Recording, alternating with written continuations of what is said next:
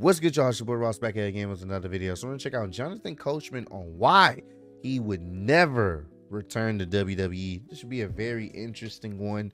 I know uh, Jonathan uh, Jonathan uh, Coachman had a history with WWE. At one point, he was one of the announcers on Monday Night Raw, so it should be very interesting to see why he would never want to return. Obviously, he's been doing good. You've seen him on ESPN and other shows, so he's doing fine without WWE. But it should be very interesting to see what would be the reason why he would never return back to the company.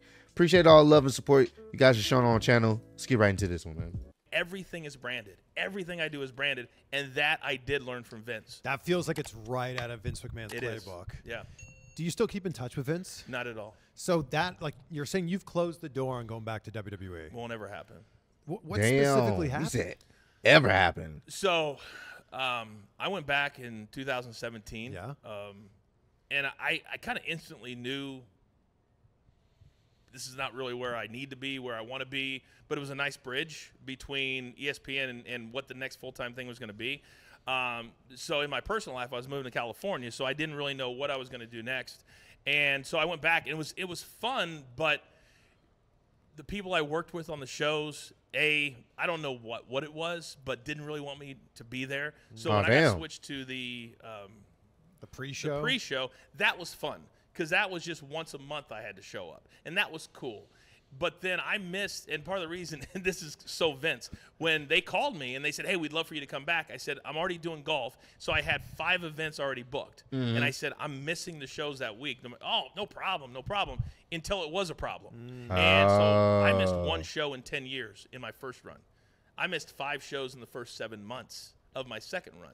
But I think everybody would agree, and the schedule has changed now. They were running people into the ground. Nobody should be working 52 weeks a year. Nobody. They shouldn't be having new shows 52 weeks a year. Let's be honest. Yeah. And everybody inside WWE says it. They just don't want to admit it.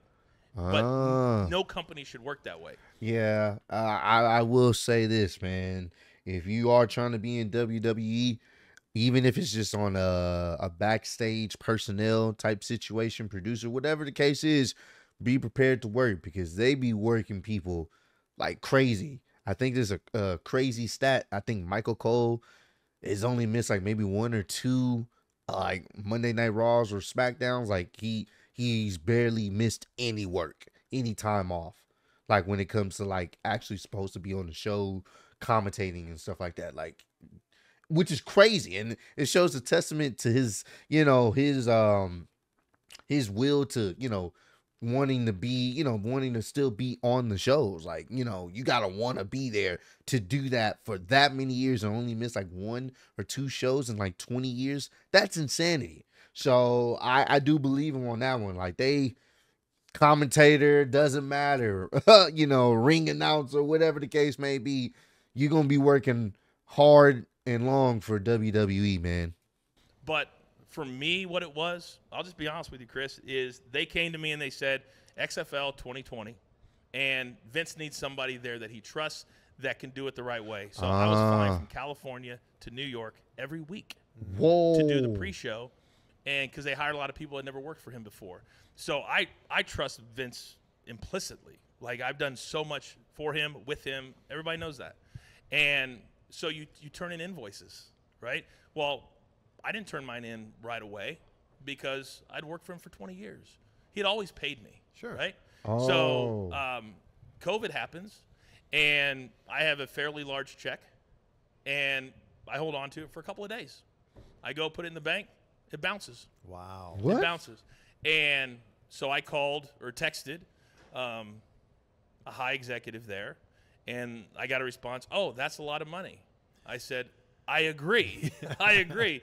I said, can you just call Vince let's take care of this quietly? No big deal. Yeah. And um, ghosted me Wow. absolutely ghosted me.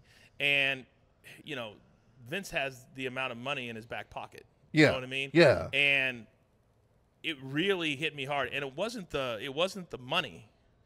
It was the the process. You know what I mean? That and I, I sat there. I'll, I'll never forget, Chris. I sat there one day and and I'm sitting there going, man, they they really bounced a check to me. Oh, I, I did get a second text. It was like, oh, that's another company. I don't think there's anything we can do. What? So basically, telling me uh, people I'd worked with for 20 years, oh, that's the XFL. It's not the WWE. There's no, but the same guy owns the two. Yeah, he right? he bo- And he owns both. I mean, everything was a crossover. So that to me was a complete slap in the face. Of And- course. But some people there just don't care. And I'm not going to name names, it's not my style. But even to this day, and anybody that watches this interview will agree with me because it's true.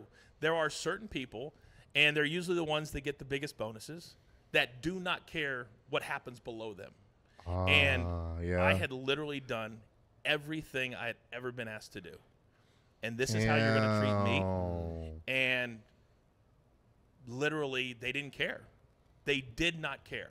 And I even gave it months because they were going through. Remember, there was no there was no shows. The company's losing money. I felt for all of that.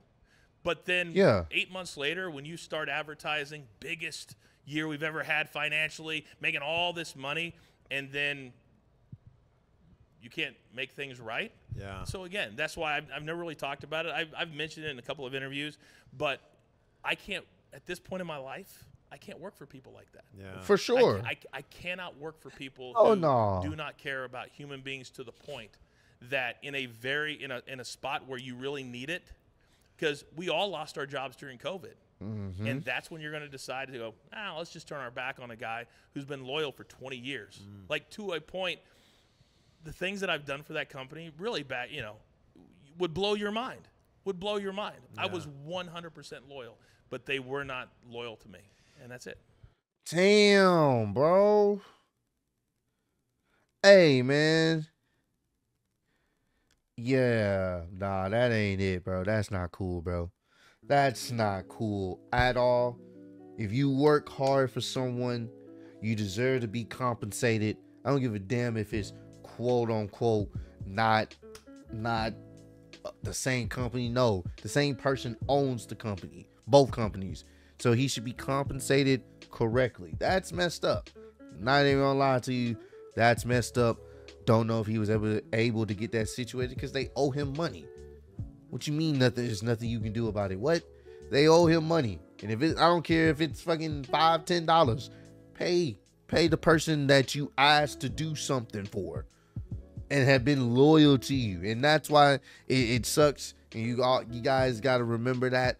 You know, try to find a situation where you can work for yourself or you become your own boss if you possibly can because a lot of these companies don't give a damn about you you can be there for 20 plus years never missed a day and they will sit up there and and look at you funny if something happens you gotta gotta call out or look at you funny if you decide to move on to another company and they don't even show their appreciation you know, like, or don't even want to give you a bonus after you busted your ass to make their company the best it possibly could.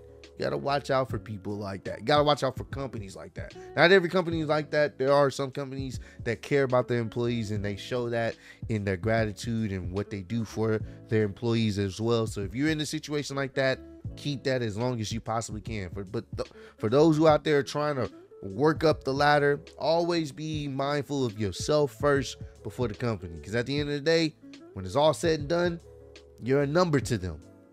And they will replace you if they need to. And that kind of sucks. I feel bad for uh, Jonathan Coachman. And I I am in agreement. Fuck no. I would never go back to WWE if they did some shit like that to me. Hell no.